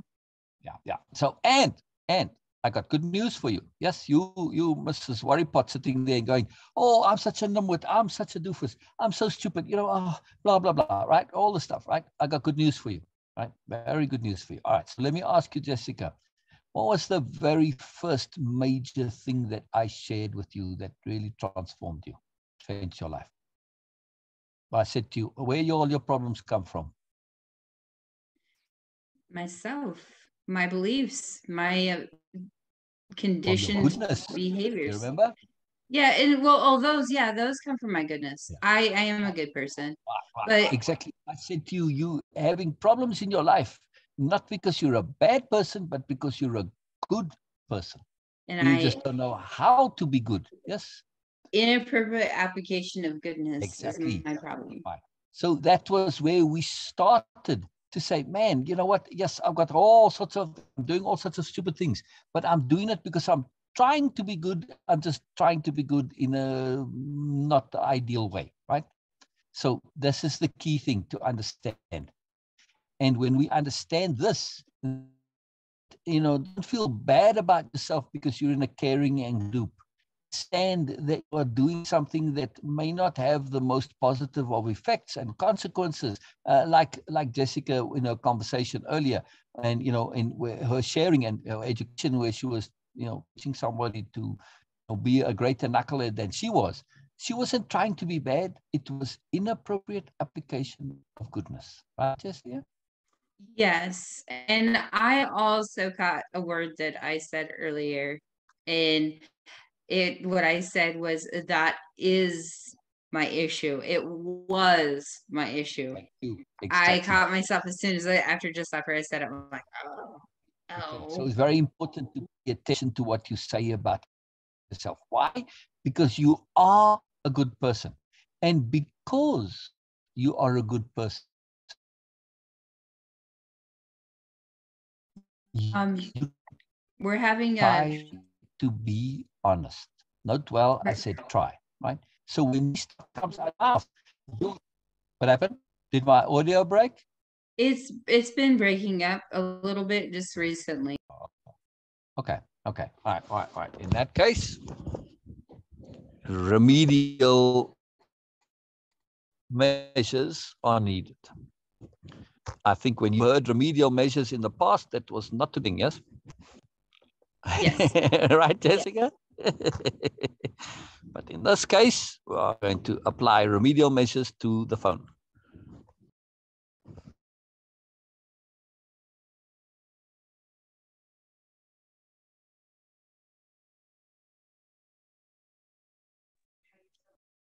Yeah, there's no sound at all now. No sound. Now sound. Now we have All sound. right. It's a little bit delayed. It's a little bit delayed. All right. So um, I was saying that when we understand this, that we can be good and do things that aren't good. Oh, I was talking about when it comes to the words that you have to really, really, or we have to, just in general, it's a good idea. Let me put it this way, right? I don't want to say you have to. That sounds like a like no, I'm- right? But it's very helpful or to understand this works, right? So if I say things, why are those things so powerful? Because I'm a good person. Well, how does that work? Well, let me tie it together. I'm a good person because I'm a good person. I don't like to be a phony. Yes, you don't want to be a phony. You're a good person. I don't want to be false. I don't want to be official. I don't want to be a liar. I want to be dishonest. That's all part of my goodness. Yes. So if I say something, my deep inherent goodness is going to try and make what I say true. Because if uh, if I don't make it true, then I'm making it into a lie. So if I say, "Oh, I'm such a worry pot," what does your inner bureaucrats, as I call them, your inner system, right? They say, "Oh, wow, all right, we're going to make it to a worry pot, otherwise he's going to be a liar." See? So pay attention to what you say. It is ridiculously, ridiculously powerful. Why? Because you're a good person and you want to be honest. You want to make it true. So this is why people get all excited about affirmations. The problem is they go overboard. Yes. So they will say, "Well, I'm not a worry pot." Well, that's just a lie too. You too late now. You've already, you know, been practicing to be a worry pot for the last 20 years. So mm, too late now if you suddenly say, I'm not a worry pot, you're also lying. Yes. Now, say it long and hard enough and often enough, eventually you will make it true. There's a quicker and more powerful way that we can work with the system. And we actually get into it later on in the in the program, right? So Yes. I'm just going to throw it out there for now that yes, we're going to get into this utilizing your words in a very powerful way, right? When we start getting into the specific details. Right now, we're still looking at what exactly anxiety and worry is. And one of the things that it is, it's a conditioned behavior and response, right? Very, very, yes. very that powerful to becomes a habit And, and in a not so great way. exactly, we can break it. Can break it. All right, so uh, let's look at the tasks and exercises here. Will you read them, please? How often do the things you worry about and are anxious about actually happen the way you worried they might? What are the actual statistics involved? Okay, so How give me an example of something you worried about uh, recently. Something trivial. Um, I love this. The worries are so important to people when they worry about them. But you ask them, what did you worry about? Oh, man, look at that look on that face, right? Look at that perfect look of like, I have no clues. Like, seriously, really? Did I actually worry? Too well, yeah, now now you got me thinking of like I felt like I've been pretty oh nope, I now know. Um No, it's good that you couldn't remember worry. I, I was just having some fun there because Oh. when you ask people that question, they, can remember what they worried about, but they actually sit there looking for a legitimate worry in the context, right? So you weren't doing that. You were actually looking for a worry because you haven't been worrying, so you had a hard time. So I was having some fun though, because like I said, you know, typically when you ask people who are worry pots and who are still in the worrying, they were uh, but actually they know exactly what they were worried about, but they're looking for a legitimate worry, which they cannot find, of course, right? I didn't ask for a legitimate worry, I asked for whatever, any nonsense worry. Oh, yeah. So the legitimate worry is there, but yeah, I, I don't really, I've been pretty mellow. You have, you have. You've been awesomely unworry free because you've realized that this is not really worth your effort and time. So, anyway, give me an example of something that you're worried about, legitimate or not. Okay, so legitimate. Um, no, or not, doesn't matter. Well, I can't think of anything. okay, okay. Um, I worried about C's and S's safety. Okay, so what are the statistics involved? And now you I can see those eyes going, the hell does he mean statistics? I never looked up any statistics. I have no bloody clue. No, right? like what well what are like how I guess statistics when I think about statistics involved. Oh, the actual like yeah, yeah, the actual statistics involved. I, right, you have no clue. Right, I'm do assuming. I have to Google that? Well, uh, I would suggest you do. Absolutely, sure. Okay if you're going to worry about it, know what the actual statistics are. Is this a one in a hundred chance? Is this, you know, nine out of 10 people going to have this? Uh, uh, how, how valid is my worry? You said it was a legitimate worry. Well, if it's nine out of 10, then I bet it will, bet it will do something, right? I can't just sit here worrying, right? If it's like mm. highly likely to happen. If it's a one in a thousand thing, oh, all right, well, you know, I'll take my chances. It yeah. was like it was like four out of ten. It wasn't, you know, something that like shattered my world. Know this for sure. Well, for me, not worldly statistics, but for I'm me, like, okay, I'm, I'm, I'm pressing your button a little bit here, having fun with this. To say yes, you see, yes, somebody who, who, who, who, with great certainty and solemnity and, and, and sincere earnestness told us this was a legitimate worry, but knowing the actual statistics involved, well, not really, right? so, okay, I'm having a bit of okay, fun. that makes, that makes more sense. I'm like, oh, I'm, yeah, I see expose, I'm, I'm exposing the preposterousness of worry. We worry, we believe it's legitimate. And do we know the actual statistics? No. Now, now, if I do know the actual statistics, right? Let's say, okay, you you get some disease and I look it up and say, well, you know, sorry, you know, uh, you know, Joe, Mary, whatever. I say, you know, um, um, I've got good news and I've got bad news. What do you want first? Good news. You want the good news? No. Well, uh, hmm. Oh, sorry. Try again. Bad news well, the bad news is that the good news is not for you. That's, that's my bedside manner joke, right? That's when you got really bad news to get to somebody say, What do you want, the good news or the bad news? And you hope they choose the bad news. You say, Well, you know, the bad news is the good news is not for you. That's when it's like really, really bad news, right? Okay. So my point is that I'm trying to get at, it know, I'm having fun here, is that if there's really, really bad news, you say, well, you know, you got this disease and, well, nobody recovers from it. Okay. So there you go. Right. You just so, like my reaction. So, yeah. Yeah. so, so the point I'm trying to make is if it's truly terrible news, you accept it. There's nothing you can do with it. And that's the end of the world. Okay. You know, you don't go around and, you can, I suppose, but well, if I'm going to die, I'm going to make the best of the few minutes that I have left, right? Or days or weeks or whatever. Right? That's typically what happens. So uh, my point is that if you're going to spend the time you're worrying about it, there's nothing you can do. So in likewise, when you when you think, okay, well, it's a 90% chance, there's still nothing you can do with it, right? Uh, your worrying doesn't make a difference. So make the best of it is the point I'm trying to make, right? So when you know the statistics, it helps you when it comes to worrying usually worrying is because we don't know the actual statistics right when we do know we know what's to be done or not to be done right there's nothing we can do there's little we we can do we can we can do everything we can to bring those chances down but other than that well i just have to accept it. This is the way life is right? You do what you can and then you accept right? You accept what's going to happen. So when you know the actual statistics it's very useful for reducing your worry Yes. So uh, when I ask that question there, because I'm sort of kind of teasing a little bit for the worry parts to say, you're so convinced that you should be worrying and that your worry is legitimate and genuine, but you don't know what the actual statistics are, right? So how often do you even check up whether or not things turn out the way you worried they would? That's another thing, right?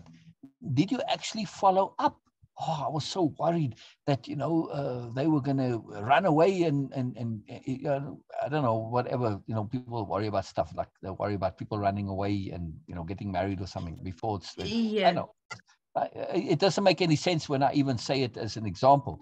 But did you actually check to see if they actually did do this? You know, so. Uh, um. Generally, S will let me know what happens as is happening. Um, and you know, when C runs away, it just you know ran away just because he you know had that sudden urge to do it. Um, it, I was I was worried about it for the simple fact that, um, you know, being you know a young person there's a lot of there's a lot of bad people out there and being as vulnerable as he was there's a lot of bad people you know he it's really not good great. So i think that was my biggest legitimate worry is that like something were to happen to him because he doesn't have his phone he doesn't have anything to protect himself with things like that. Yeah. Now can we change worry to concern? Yes we can because that's more of me being concerned than worried. very different Concern is definitely something very different. Yeah. And it's much more wholesome. It's much more valuable. It's much more sensible. I can be concerned and not worry. And man, that's a much, much, much, much greater improvement on things. Yeah. So anyway, uh, so well, when we worry about somebody doing something, in this case, he actually did the thing, so it's not a good example here. But you know, when I worry about Mary getting pregnant, for instance, you know, just for argument's sake here now, right? And Mary's, I don't know what, 13 or 14 or something. Uh, and did I actually check to see that, oh, she went on the date to this boy and they went to the movies? Did I actually check to see if she got pregnant as a result? No. Exactly. But, but this is what some people worry about, right? Oh, she's going on a date, you know, she's going to get pregnant. I, I mean, I, it sounds foolish when I say it, but I, I've known plenty of people who think this way, right? Uh, seriously, I mean, they worry and very about rarely do we ever check back. Do we? Right, you exactly. know, follow up. We don't follow up. You know, exactly, exactly. So we don't only not know the statistics, but we don't follow up. If you were to do so, you're going to build a database, and you're going to see, whoa, you know what? Uh, you know, Mary goes to the movies on a date, and and so does Jane, and and and and Clarice, and and Magdalena, and all of them. And well, you know, yeah, okay. They might get pregnant, but not from going to the movies, right? So from other stuff. So uh, my point is, when you actually start paying attention, you start to realize that you're sort of worrying about stuff that's not very real. Yes. Right. Very important. So yes. follow up. Now, the next question here. These are very powerful questions. How often do you deliberately worry? Will you choose to worry? And what's implied with this question? Very cool question. Very cool question. Okay. While well, okay. So when we when we I got one second. One second. I just want to say okay. while you answer that, uh, well, I can take the phone with you. Never mind. I have to take care of something, but I can take the phone with. You. All right. Very cool. All right. Go ahead. Go ahead. Go ahead. Okay. So when I okay, so my my answer is going to be a little bit different now. Um, yes. And that's yes. because when we worry, we are choosing to worry. It's in undeliberate way. Yeah. Yeah. However, so this is kind of a trick question because we don't de- we don't necessarily deliberately worry. We choose to worry, which is an undeliberate form of you know doing things. Um, uh, what's implied with this question is that we don't truly deliberately do it. Exactly. It's that understanding that you're not truly deliberately doing it, but being aware that you're that you're unaware of doing it. So therefore you're being undeliberate. Exactly. Exactly. And if I say to you, uh, Jessica, All right. Please, uh, right now, uh, would you uh, worry some for us, please? No. Would you would you engage in the activity of worrying and being anxious right now? Right? The, do it. Sorry, no, sorry, nope. exactly, exactly, exactly. You see, nobody in their right minds would choose to do this. We think we should, we need to, we have to, but not so. Right? The other choices. Yes, right? because we are conditioned to believe that a good person worries, and if you don't worry, then you're just being selfish. Exactly. Well, and of course, none of this is really true. So this is very powerful. But when we realize that you don't sort of set aside a, a part of your calendar and say, well, okay, this, this, is my worry time, you know, like this is my yoga time, this is my worry time. It's like the Grinch. You know, but uh, I, I say that, but I do know some people who do do that, by the way. well, I have known people who, who say, oh, well, that's my time where I worry about stuff, right? They've actually made time for it. It's quite profound. It's quite preposterous, but okay, nonetheless. All right. I understand that, you know, for some of them, they weren't really worrying. It's just a label. And what they were doing was thinking about stuff, figuring stuff out, you know, sorting through their problems and stuff like this. Okay, fine. Uh, they called it worrying, but really it was, you know, thinking things through, problem solving, figuring stuff out. So it was actually a positive thing. But if you were to you know set aside time to engage in the negative feeling of worry and anxiety the unpleasantness of it this would just be crazy right well yes because i, I literally wouldn't get off this couch or out of bed if i did that because you know exactly. my worry it used to when i worried and felt anxious it really went from zero to, to 100 in no time flat because there was the anxious the anxiety after that then there's panic mode. And when i get into panic mode i'm frozen. I, I can't do anything can't think nothing. Exactly exactly. So we have the lament of the ages and we might get all poetic and say but why? Why do they do it? Why do they do it? Right well oh, we can go on for that the answer is exactly because we think we should, right? Conditioned behavior and response. We worry because we think we should, not because we want to. And you're a good person. So, as a good person, right, you say, yeah, but you know what? There's a lot of things that I don't want to do, but I do them anyway because, well, I have to do them. I'm supposed to do them. I should do them. They're a good thing to do with worry and anxiety, it's not the same as going to work and you know doing your job and bringing up all your other responsibilities. This is the problem, right?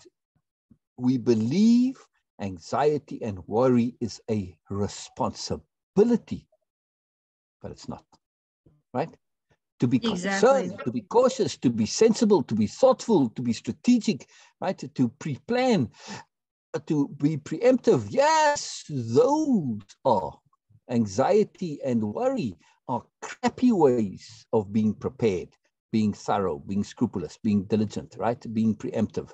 They crappy ways. So they lazy ways of doing that. Sorry to say, but that's what it is, right? So yep. who you BSing? Not me. Not me, right? So mm-hmm. be, be very understand that yes, you do it because you feel you should and it's your responsibility and all this.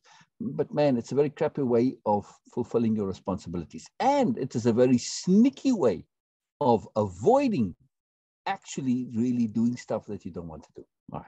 So yeah, so there's a lot of BS involved with anxiety and worry also, right? Okay, sometimes you anxiety and worry because things aren't ideal and you know they aren't ideal and you don't know what to do because you don't know what patience is, don't know what discipline is, don't know what forbearance is, right?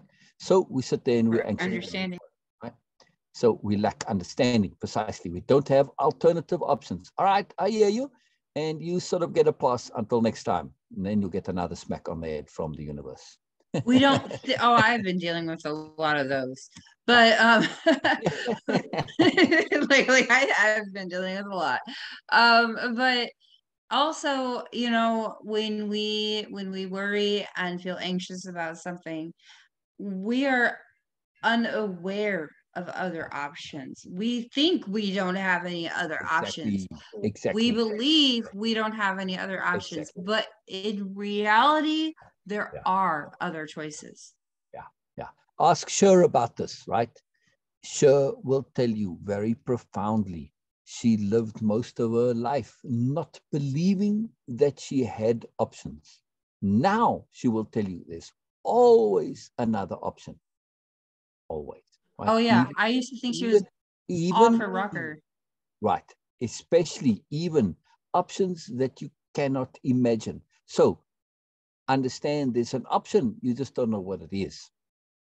Right? Mhm. Don't confuse not being aware of an option or being able to imagine an option, meaning there isn't one.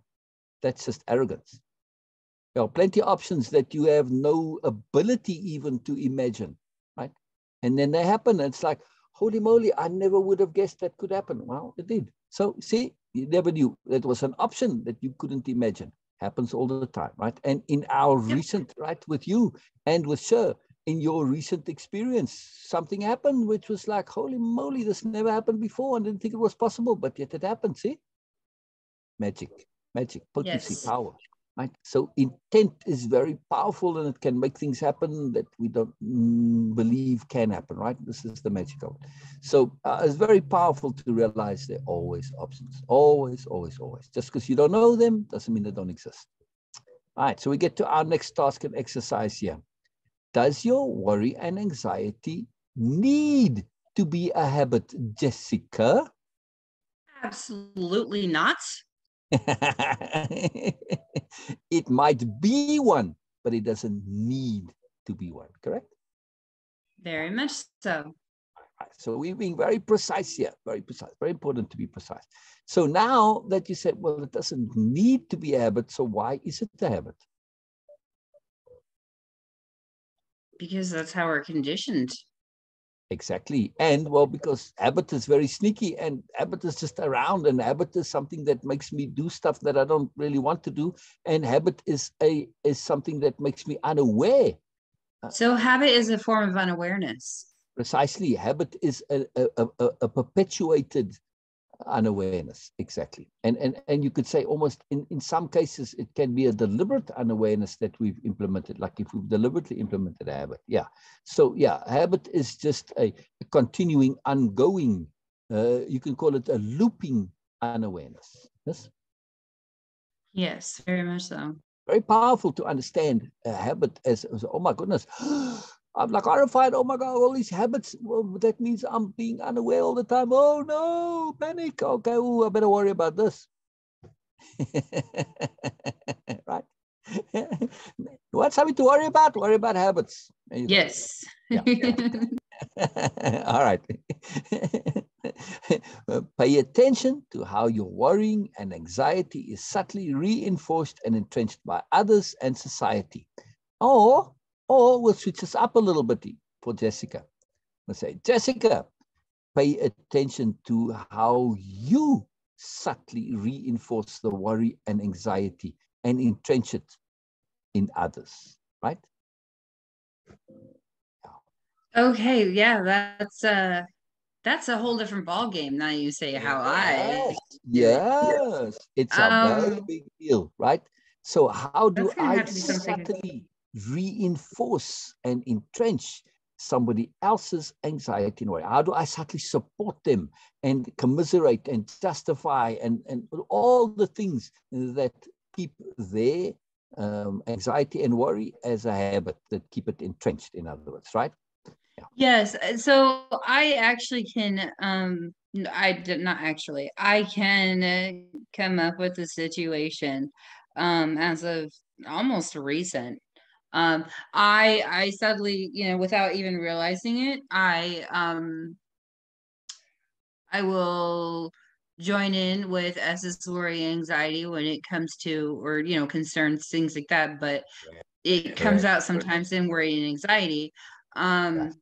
Yes. with when it comes to C, I also had a friend who was having some issues and like I by saying, you know, uh siding with them essentially and saying like, you know tf like how is that even okay? And you know things like that.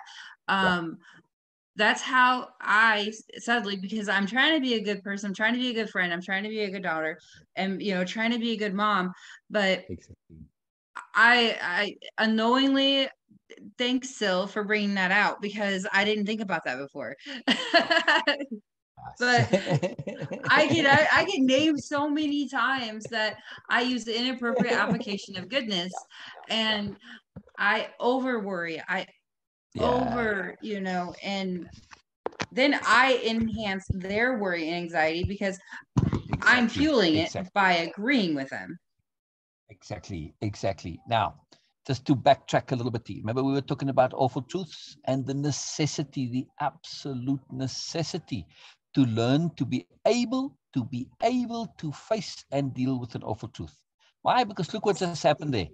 In this question, when I turned it around, I made uh, Jessica aware of an awful truth. But if she wasn't able to face and deal with it, she would have stopped right there. She would have refused to acknowledge that it even was a truth, uh, was a reality, and her whole system would have stopped. And doesn't make the awful truth go away. She would have just gone into a funk and ignored it and and uh, uh, tried to avoid it. And, and now what? Now what? Now she has an awful truth in her life, but she's refusing to deal with it. This is this is a wonderful solution, right? Um, It's so foolish to avoid an awful truth. It doesn't make it go away. We think it does. It's like you know when you when you have animals or children and they put their hand. Oh, I, I can't see you. You can't see me. Right? That logic. Well, that's what people apply to awful truths. If I can't see the awful truth, well, it doesn't exist. Well, nonsense. It's still there, right? But because you were you looked at, oh, thank you. I mean, yeah, you teased me a little bitty, right? And say, wow, you know, thank you for bringing this to my awareness. But you really mean it, right? right? I mean, we're having fun, but you really mean this. That thank you for bringing it to my awareness. This is something that I can pay attention to now. Now it's an awesome truth. Why? Because I can deal with it. I can take care of it. I can pay attention to it, and I can not add to making things worse for my loved one by helping to entrench their anxiety and worry, right? Man, what a gift now. What a gift. What a gift. What a gift. I don't want to be doing this, right? I don't want to No. be entrenching somebody's anxiety. This is a horrible thing. So, okay, you know, you when you said it at first, I'm like, oh crap, yeah, that you know, I kind of did that. Oh, but if I had too much ego and I saw it as an awful truth and I couldn't handle it well, then I'd never learn and I'd keep doing this awful thing, right?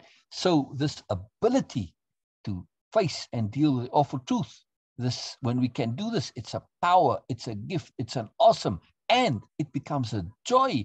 Because now i can say man yes i was you know being an idiot but now i can really change this. I can improve it. It becomes an awesome truth and of course you know in a in a in a little while now after jessica's been doing this and has changed the habit and the practice she's going to come back and say you know what i'm not doing this anymore you know to my loved one i'm not now it's like whenever they come up with this i come up with other ways and suggestions. I ask questions. You know, I I, I, share things, that, and uh, we have different ways now, right? We we're starting to think about things. We look at the statistics. We check up on the stuff and all the stuff. We do things rather than just default to looping into tired old anxiety and where it goes round and round and it's miserable and it's unpleasant and it gets us nowhere. But now we've changed. It's like all excited. So I'm looking forward to this excitement from Jessica. But you see my point here awful truths becoming awesome truths. Yes? Yeah, very, very, very powerful. So, last question here before we go. What are other more useful and personally rewarding ways you can show and demonstrate your caring? I'll leave that question for next time. Right? That's a question that you can you can spend a whole week uh, going through and and come up with with a, a zillion different ways, right? What are other more useful and personally rewarding ways you can show and demonstrate your caring? I'm very keen to hear this. And anybody watching this now or on the recording, please share in in comments what other personally rewarding and useful ways you use to demonstrate and show your caring, right? Other than anxiety and worry and stress. Yes. How do you show your caring in personally rewarding ways that are useful? Yeah, very, very, very powerful question. ridiculously powerful question. And if you don't know, figure it out. Yeah. If you say, "Oh, I don't know," that's the only way I know how. Well, figure it out. Yes. Make an effort to figure it out. Look around you. Look at people who don't, uh, who care, but who don't show it and demonstrate it through anxiety and worry. How do they do it, right? If you don't know yourself, if you can't imagine it, fine. That happens. Sometimes we get a block. Look around, right? Or if you really, really think this through and you spend a whole week and you can't see any examples, well, come on Zoom or put in chat and ask, and we'll go through some, right? Well, well, one that you know already from me here, right? I mean, every time I was laughing yes. at Jessica, having great fun, I'm caring. I'm showing humor through caring through humor, right? So yes, and also caring and sharing. Exactly. Just not with everything. Exactly. yeah. Leave those words alone. We don't need to see them. Thank you very much. right. right. yeah. So yeah, it's very powerful. It's very powerful. But humor is a very powerful way to care. Very, very powerful, right? And we can uh, be, be humor and have humor and have a positive attitude even when things are miserable and negative. And don't believe me, go to a hospital and watch and look at the different nurses. Sooner or later, if you're lucky, you're going to have that joyful nurse come around, right? And this yes. nurse, uh, no matter how much you, oh, uh, you're going all, and you know, some of the patients, when they're in pain, they get truly negative and miserable, and they will call the nurses the worst possible names and swear and curse at them. It's unbelievable, right?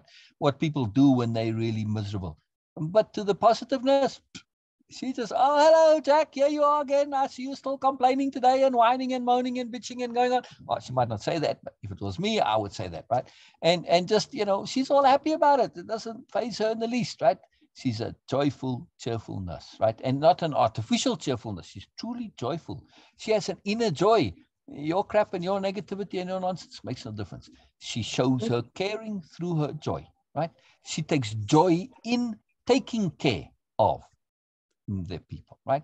That's her joy. Her joy is taking care of them, no matter how miserable they are, right? And no matter how negative and how rude and how gross they might be, and they can be truly abusive, makes no difference. Oh, she yeah. joy in the care. So there's many ways to show joy. Then so humor and positivity and joy, all of these are profound mechanisms for showing your caring. Doesn't matter how bad it is, right? Yeah. Very, very, very powerful, right? Uh, Robin Williams Robin Williams. Yep. Right? One of my all-time favorite actors. Right, right. Uh, what killed him was caring too much. Right? Yep. So understand, you, can, you really watched him and paid attention.